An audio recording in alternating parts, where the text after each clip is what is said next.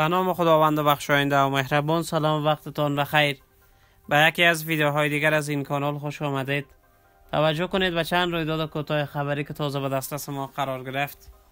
پس از آن که باشندگان شهر کابل از وقوع یک انفجار و درگیری در شهر کابل خبر دادند اکنون جبهه آزادی افغانستان گفته است که بر یک پاسگاه طالبان در این شهر حمله کردند.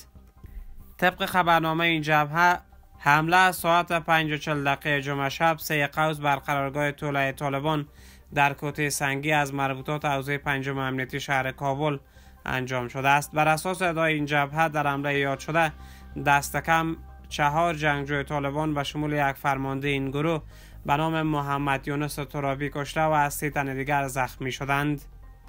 این جبهه گفته است که این جنگجویان طالبان خانه های مردم در حوزه پنجم امنیتی را بدون دلیل بازرسی و اموال مردم را غارت می کردند طالبان تا کنون در مورد این رویداد و رویدادهای مشابه دیگر چیزی نگفتند. به نقل از آماج منابع می‌گویند که دقایق پیش در چهارراه شهیدی شهر طالقان مرکز تخار انفجار رخ داده است. و گفته این منابع این انفجار ناشی از یک ماین جاسازی شده در کنار جاده بود که موتر عامل پناهجویان گروه طالبان را هدف قرار داد. کنون از چگونگی و تلفات این رویداد گزارش در دست نیست. دیروز جبهه آزادی از کشتن یک فرمانده گروه طالبان و زخمی کردن نگهبانش در این ولایت از سوی نیروهایش خبر داده بود. یادآوری می‌کنیم که در روزهای پسین یورش های جبهه آزادی و جبهه مقاومت در برخی از ولایت های شمال افغانستان افزایش پیدا کرده است.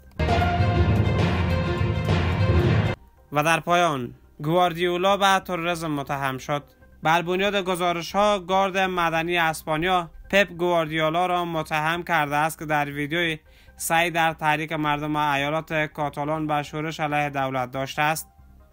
گارد مدنی اسپانیا می‌گوید که گروه شورشی سونامی دموکرات یک کارزار گسترده برای انداخت و هدف آن مقابله با دولت مرکزی اسپانیا است.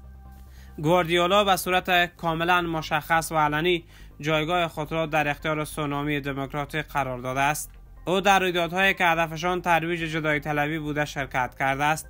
این در حالی است که گروه سونامی دموکرات از سوی دولت اسپانیا به تروریسم متهم شده و اتهامات این گروه در حال حاضر در دادگاه مورد بررسی قرار گرفته است. اگر مطابق حکم دادگاه این گروه تروریستی شناخته شود آنگاه این حکم تبعات جدی برای سرمربی سیتیزن ها در پی خواهد داشت. تشکر از توجهتان. تا بعد بدرود.